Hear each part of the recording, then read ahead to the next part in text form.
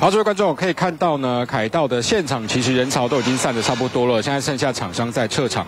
那我们从今天一整天看下来呢，还有了一些民众笑称呢，这整场好像就是柯文哲主场一样。怎么说呢？因为柯文哲在上台讲话的时候，他除了他是最后的压轴之外，而且他在现场的欢呼声似乎也是最大的。我们现在听带您看一下稍早的画面。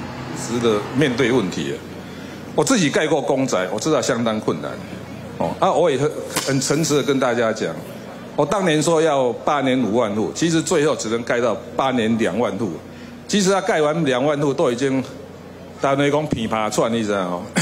但是一直到现在为止哦，每次这个民进党在公布那个中央盖的社会住宅，你知道其实也不用讲那么多，我只要花敬群很诚实的回答两个问题。第一题，在小英任内。你们到底开工几户？第二题，到底完工几户？其他的我都不想听了。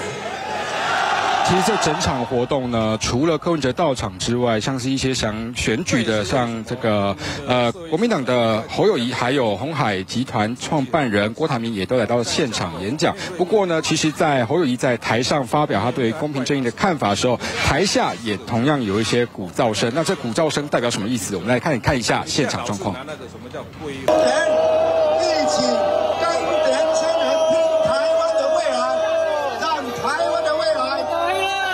谢谢大家，希望大家。不要说，不要说，不要说，不要说。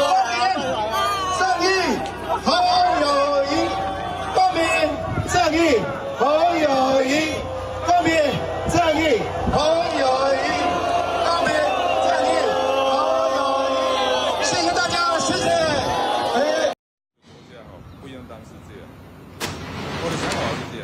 可以看到呢，侯友谊在上台发表一些看法的时候，其实台下有一些群众是有点不满的哦。那另外呢，其实，在呃像是这个红海集团创办人郭台铭在讲话的时候，也是有一些鼓噪声响。那另外，那个时代力量在现场的时候，一开始开始在骂国民党或者是民进党的时候，同样有一些鼓噪声。但最后他们提到了柯文哲也是一样的时候，他们也同样被驱下台，所以形成一个非常有趣的画面哦。另外呢，其实我们刚才也统计问了一下主办单位，今天有没有统计实际到凯道的人有多少？但是主办单位表示呢，其实今天没有特别来统计，只不过从这个头到尾，就是警服门的周遭呢，其实都已经挤满了民众，周遭还有一些人进不来。以上像尊敬请主播，想看最完整的新闻内容，记得下载 TVBS 新闻网 APP。